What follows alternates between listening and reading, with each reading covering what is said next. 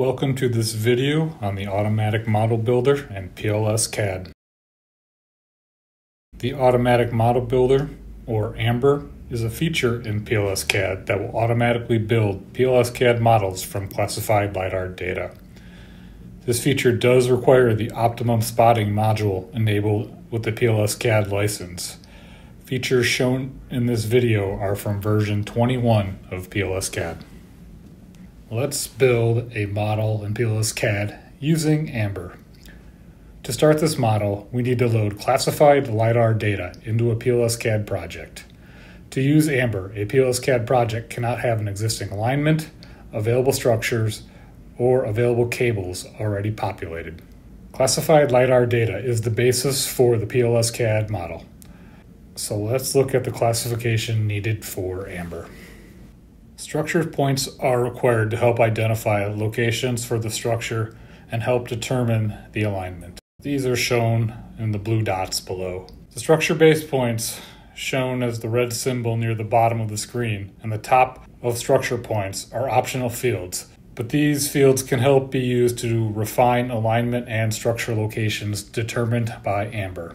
Wire point clouds are also required to be classified.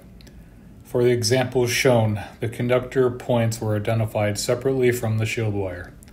The conductor could be classified with the same feature code for all three phases as represented by the red dots here, or each phase could be done on its own feature code. Shield wire points in this example were classified on their own feature code. Wire attachment points are required to help determine structure locations, structure creation at each location, and stringing wire. The examples shown here, the shield wire and conductor attachment points were classified on different feature codes. Let us now model a line in PLS CADD with Amber. First, we will start with a new project with just classified LiDAR data. To run this feature, use the menu command Terrain Automatic Model Builder this is a new feature under development, and we are actively seeking users' comments and feedbacks for the next iterations of this feature. Now, in the Automatic Model Builder dialog, there are two tabs that need to be completed. The first shown defines how to string wires. Each row of this table defines a set to string within PLS CADD. Users need to define the start set for each section as well as the ending set for each section. This cell defines how many phases are used per set. To let Amber know where to string from based on the LiDAR, I will define the wire feature code for my shield wire. Next, I will define my wire attachment feature code for my shield wire. Finally, I will define the cable file I want to use to string this shield wire. This will define one set, one phase of 7 16th inch 7 strand high strength steel shield wire to be created based on the LiDAR point clouds for the feature codes defined. This will string a single shield wire in the model. Next, we need to define the remaining wires that we want Amber to attempt to string. To do this, I'm going to load previous settings I have saved for Amber for this particular dataset. You can see how we are stringing two one set shield wires and one set three phase Bluebird ACSR conductor. The other tab to complete is the structure model options. The first option here is to define the feature codes of the LiDAR data to create the structures. The next field is an optional one that users can use to define the structure base points for this data set. Next is where you can define structure top points. This is an optional field and I am not using it on this particular data set. Moving down, the maximum horizontal spacing between structure survey points is a distance between survey points used to help cl cluster structures together.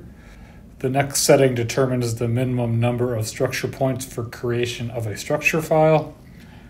And the final option is the maximum horizontal spacing between legs of multipole structures.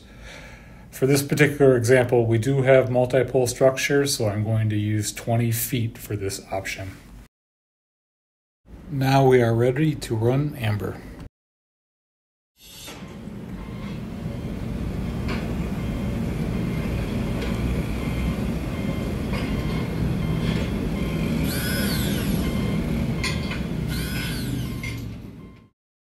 You can tell amber is done when in plan view you can see structures labels populated. Zooming in, you can see our alignment has been created. With the creation of an alignment, users can access the profile view. Here you can see structures and wires added to the model. By selecting the section, we can see that first shield wire that we added within the Amber dialog. Next, let's look at one of the Method 1 structures created by Amber. Each structure is a unique structure file. In this iteration of Amber, insulators of all structures are clamps. Amber does try to account for suspension and dead end clamp insulators along sections. Now let's look at the 3D view so we can compare the LiDAR data to the PLS CADD model. Again, you can see the structures and wires added to match their respective feature code point clouds. Now let's turn off the LiDAR so that you can see the structures and sections that were added. If we select a section in the model, you can see how this feature created both tangent and dead end structures based on the LiDAR point clouds of the structures, wires, and attachment points. The staking table is also a fun one to show after an amber run is complete. In this table, you can see every structure that was created by this feature. Different stations, structure files, heights, and you can see there are 112 different structures created for this data set.